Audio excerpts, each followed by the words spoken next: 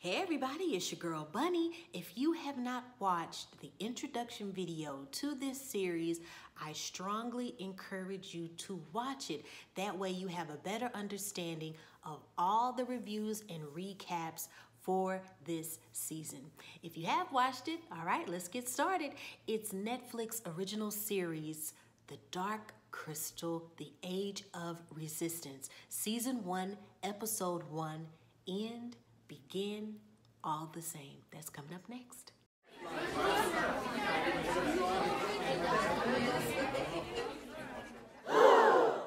It's Bunny.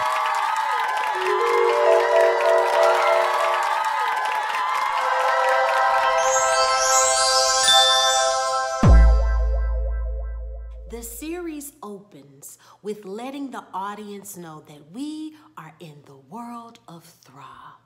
And in the world of Thra, we have Gelfling, over seven tribes of Gelfling. And those are the individuals that live in that world.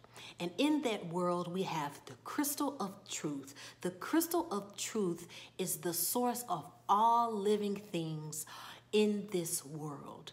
And the crystal of truth is protected by a character named Aughra. And she has protected this crystal for thousands of years. Of those seven clans of Gelfling, we focus on three main groups the Hara, which is more of the galactic Gelfling. We have the Stonewood, who are more into protecting and battle. And we have the Grottan, the clan that lives underground, is to themselves, and they could care less about all of the politics that go on above ground. Here is where we develop the main plot.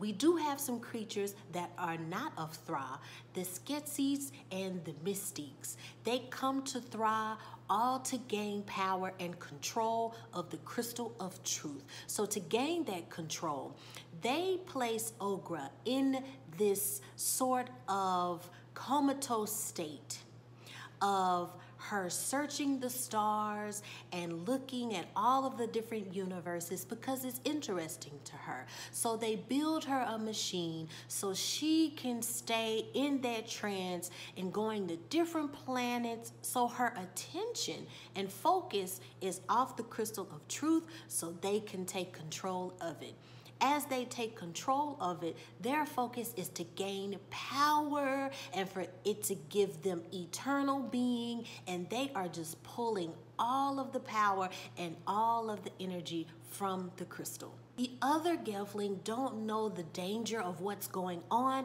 with the Skeksis and the Mystics, so they are just living their lives as usual accordingly, not knowing the danger that arises. So we see the Mystics and the Skeksis, they're in this underground area where they are keeping the crystal of truth in their secretive area, and they are gathering around for their seance to pull energy from this crystal. They gather around and they pull from it and they say whatever, whatever words they need to say and they try to get energy from this crystal and for some reason, they're upset because they don't feel this power up of energy and keeping them eternal or keeping them with all of this energy. And they say something is wrong with this thing. This crystal isn't working the way that it used to. What is going on? We saw that in the beginning of the episode, the crystal was sparkling clear of no blemishes, no fogginess.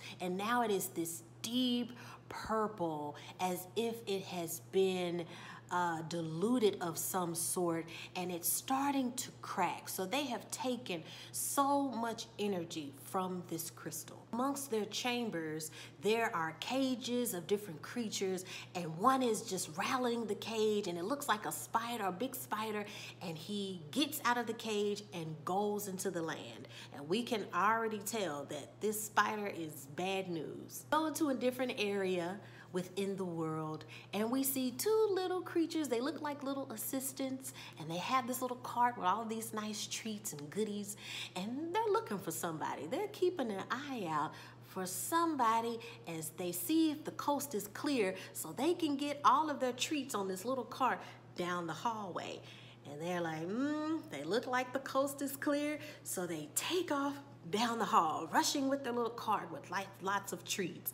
And then we see two Gelfling. We can conclude that they're from Stonewood because they're in battle armor, as cute as they want to be. And they stop this cart and say, whoa, whoa, whoa, whoa, whoa. And the little creatures are trembling like, no, don't take the food. You know, they don't say anything, but they're giving that, that body language like, what do you want?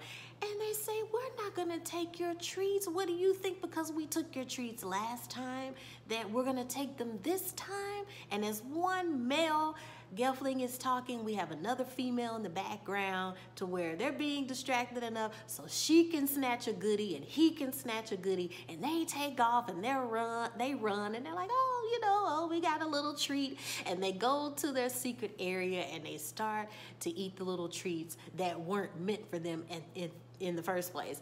And they sit there and they, they you could tell their boyfriend and girlfriend, they're reminiscing about kisses they used to share and how they used to get away. And all of a sudden, that is interrupted by them seeing this spider creature. And they're really rattled about that. And they don't know where it came from or what's going on. And before they can get to it, the creature runs away. The girl Gelfling says Rian, so we learn that he his name is Rian, and he she says we've got to tell your father about this that we saw this creature, and he's just like yeah let's go. So they run down and they're about to tell the dad about what's going on, and when they get down there, he says well where have you two been? We are on our way to Ha'rar, and you were nowhere to be found. You weren't at your post. You need to be more distinguished and alert soldiers, and I'm disappointed. And he says, Dad, and the dad says, Captain, I am captain. so we know that's his dad, and we know that he plays no games with them being a little bit more serious and being soldiers and really, really protecting anywhere that they are to make sure everything's okay. And he says, Well, you stopped me. What do you want? And he freezes and says, uh, nothing. We can discuss it when you get back. He says, fine, all right. In the meantime, I've assigned somebody else to be the premise person and the main person to refer to while not in my presence. And Rian says, well, why isn't it me? And he says, I need somebody who's going to be on alert and who won't steal treats from the cart while they're at their post. And the little creatures to the side are like, ooh, and we could tell that they've snitched. And he's just looking at them like, why'd you say anything? And he says, be more serious, be on your post. I'm going to the land of Ha'rar. We've got to go and take our post there. You do what you're supposed to do. I'm out of here. So they take off and they go in the little carriage. And the female Gelfling says, Rian, why didn't you say anything? He says, You know, I've got to prove to my father that I don't have to run to him for everything and I can handle situations on my own. When we see the creature again, I'll make sure that I'll take care of it, and that's what we're gonna do. So keep it on the hush that we've seen this big spider. We then see the caption that we are going to the land of Ha'rar. We see the princess, Tavra, and Brienne. And Brienne seems like she's more of a soldier type. She has on armor, and the other two girls are in very girly outfits, and they're there at the palace, and they're telling the princess, look, I know that you're in the library all day reading your books and looking at things all day, but we wanted to keep you afloat that we have the Skeksis coming here. They are the protectors of the crystal. We need to be ready and to meet them and to make sure that we are doing everything okay in the land because they're the protectors of the crystals. We crystal, we have to do what they tell us to do and don't clown around. We need you to be there next to Matra, next to the mother, to be professional, to look like the ladies of the kingdom, so don't mess this up. Then go underground to the caves of Grottan, and we see this cute little character who we don't know her name yet, but she has these big eyes, and she's just feeding all of the creatures underground, and they're so nice and sweet, and she's coddling them, and she's saying, oh, you need some food? Here you go. Oh, here you go here's this. And she's just really comforting everything underground. When she reaches one creature, she notices that the eyes are purple and she can't figure out why. And when she tries to feed it, it bites her. And she's terrified because nothing is of anger or negative energy in the land. So it's very odd for her to see a creature that has any anger, yet alone biting her. And when she gets bitten, she's bitten and she faints and falls down the side of what looks like a small cliff and she's knocked out. We then see the Skeksis and a, mystic. They're on their way to the land of Ha'rar. And as they're in the carriage being escorted by the Stonewoods, you know, they're the ones that protect the lands. And they're going there. And as they're in there, they're like, you know, let's make sure we're at our best composure. And, you know, we don't let the cat out of the bag that we're playing this role in, in letting them know that we're really not protecting the crystal. Let's just go here and get what we need and be in and out.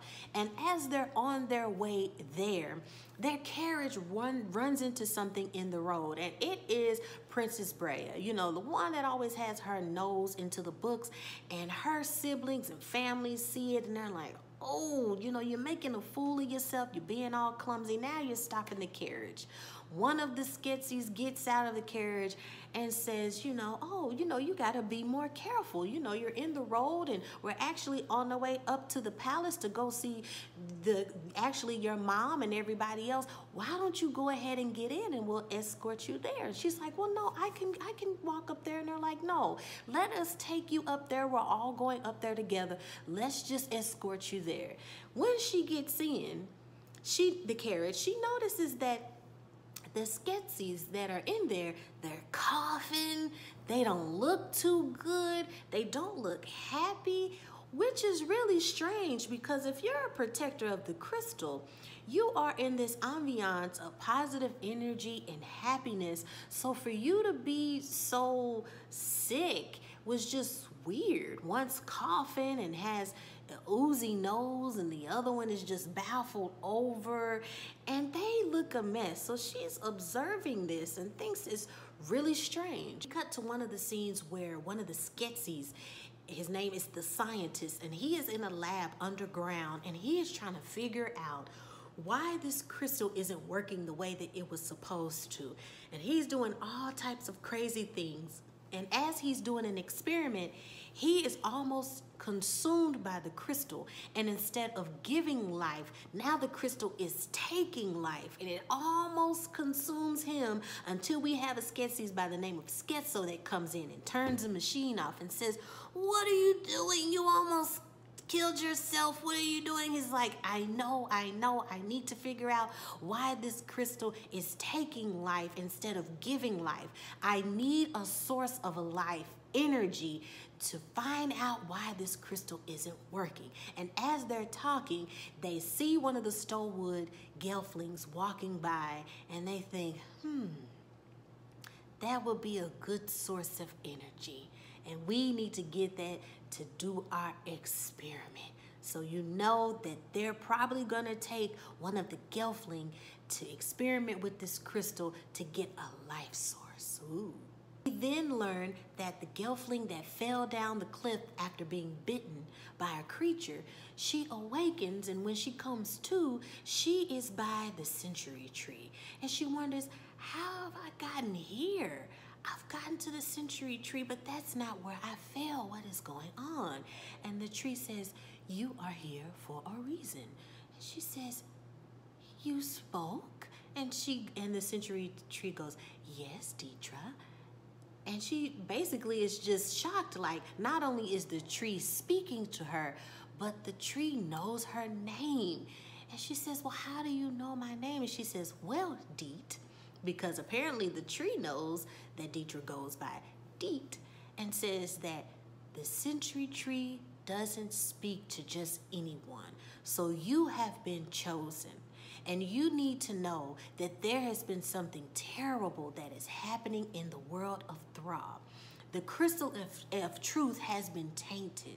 And someone is pulling energy from this crystal of truth and you must go above ground and journey and find out why and who is consuming this crystal. Because the crystal has been tainted therefore it is poisoning every living thing slowly in the world of Thra. And if we don't stop this everything in the world of Thra can be tainted and evil. We then cut back to the palace where our beginning two Gelfling, Rian and his girlfriend are in this palace and they finally spot the creature that's wild and very angry. So from the previous scene, we can conclude that that spider has been affected by the darkness that's coming from the crystal as they're chasing the spider, they're trying to track him down and stop it. And as they do that, they see the scientist Skeksis underground that is doing all of these experiments and they're looking through, you know, this opening where they see everything and they're wondering, well, why is he doing that? And why is the crystal purple?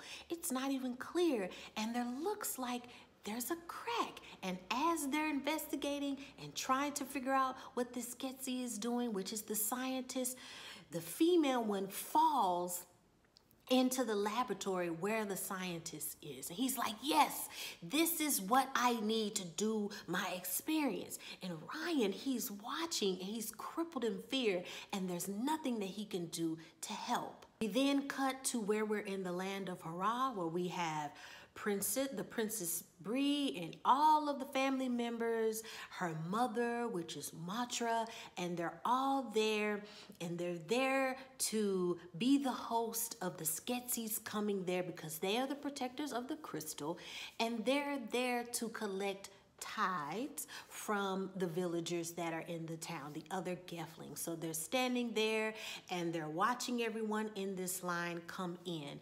And as they're coming in, they're in line and we have these two poor Gelfling and they give their tithe and they have this little basket and it only looks like there's maybe like three or four little fruit thingies that are in there.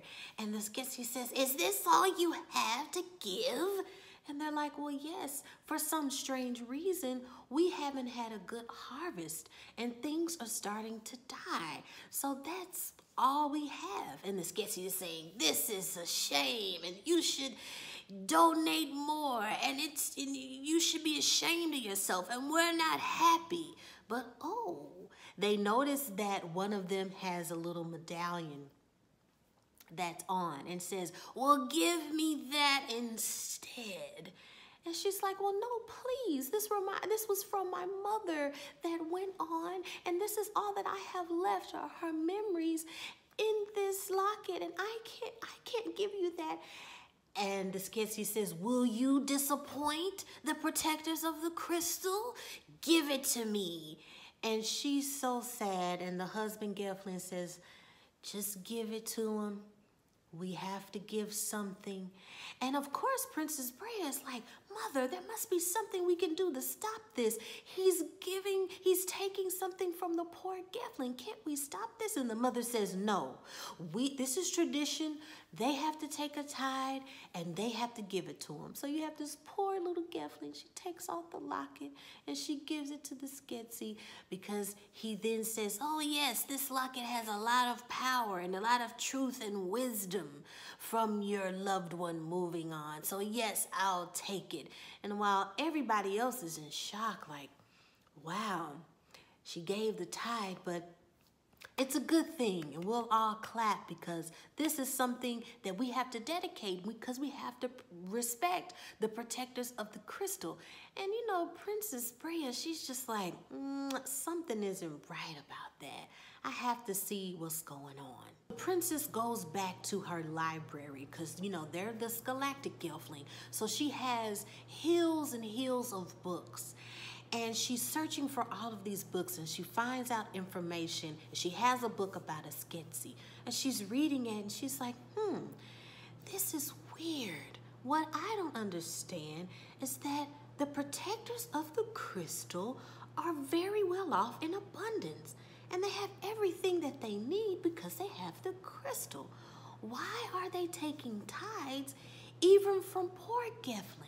Something isn't right. So she talks to one of the assistants that tries to keep the library nice and tidy and organized. And she says, Give me more information about the Skeksis and people who protect the crystal. And he says, Well, Princess, I don't think you want to go down this way or down this road because you might find information that you don't need.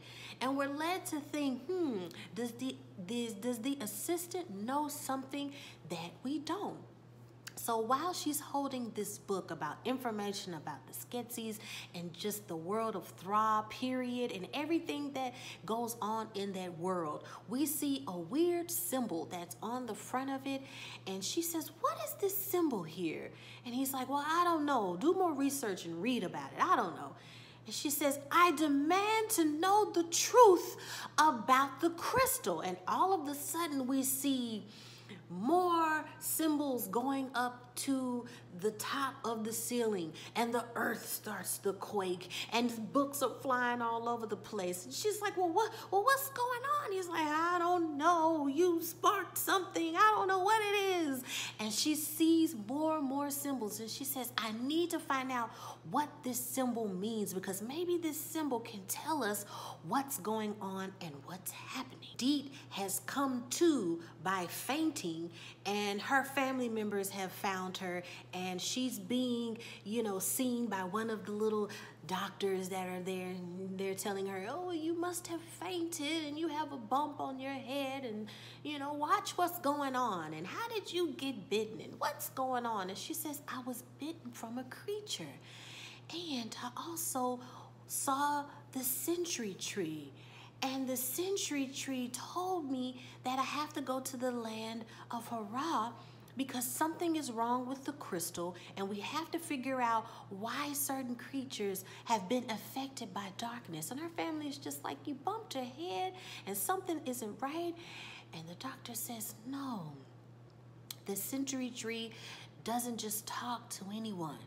So that means that you have a journey, you have a responsibility to go to that land and to find out what is wrong with the crystal.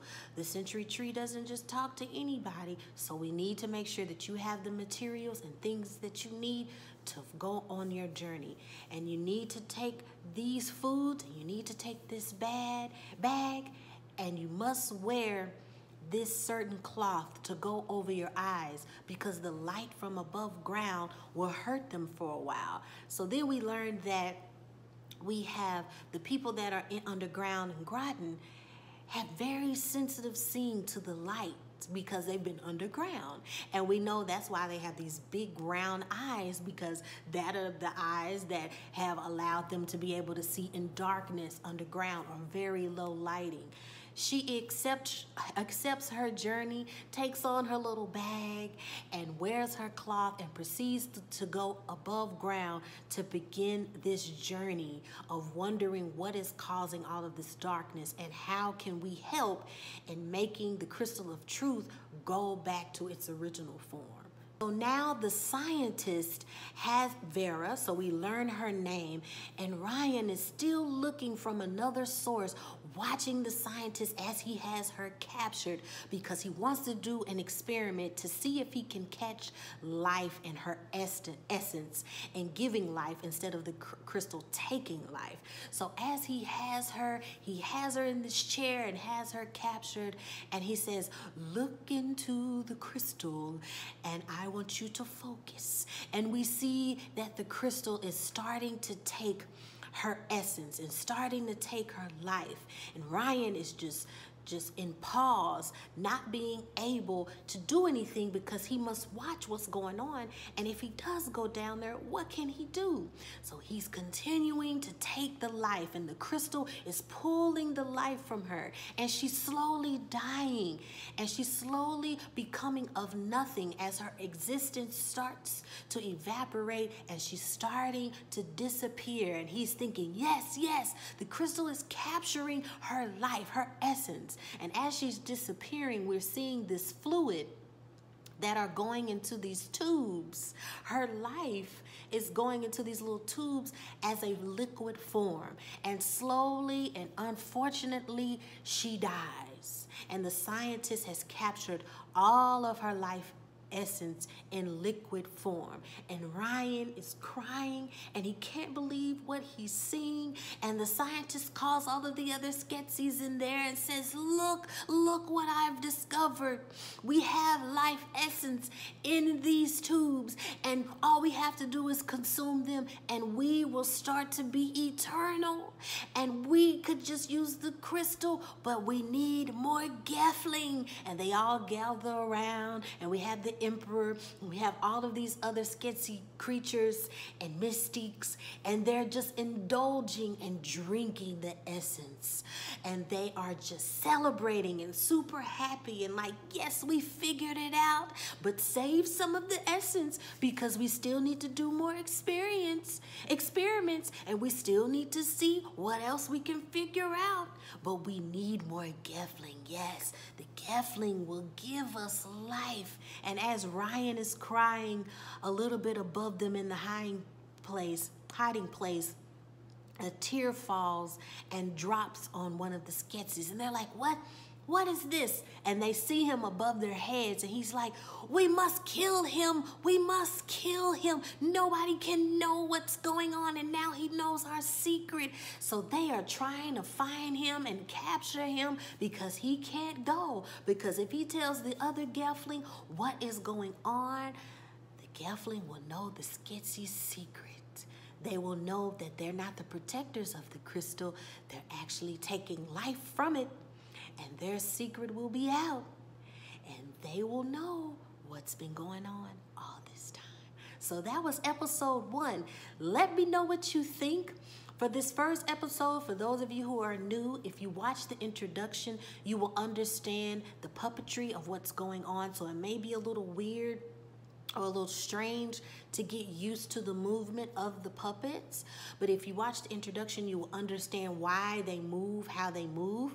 Because it being 2019, we are so used to seeing CGI and things so advanced. So to see the visuals of puppetry, it's like we're going backwards and we're going into a more simplistic way of animating a story. Let me know what you think. Subscribe, comment, hit that notification bell so you don't miss any posts. And follow me on Instagram at the same profile name, officialbun underscore E. I'll see you next time. Bye.